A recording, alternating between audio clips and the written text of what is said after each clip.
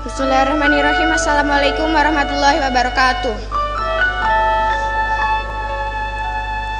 Ini adalah surat, surat yang takkan ada akhirnya. Sebuah surat yang tidak berani aku sampaikan kepada ayah dan ibu.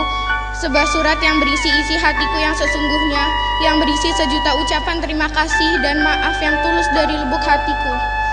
Aku mencintai ibu, aku pun mencintai ayah. Aku menyayangi ayah, aku juga sayang sama ibu.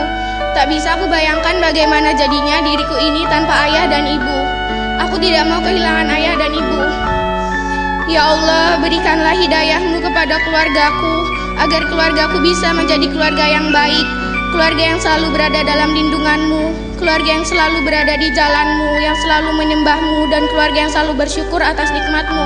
Amin, amin ya rabbal alamin. Assalamualaikum warahmatullahi wabarakatuh.